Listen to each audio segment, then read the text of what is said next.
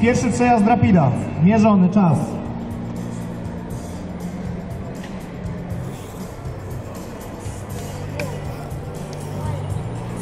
Jak widać niesamowicie. 5.09. Wielkie brawa, niesamowity czas.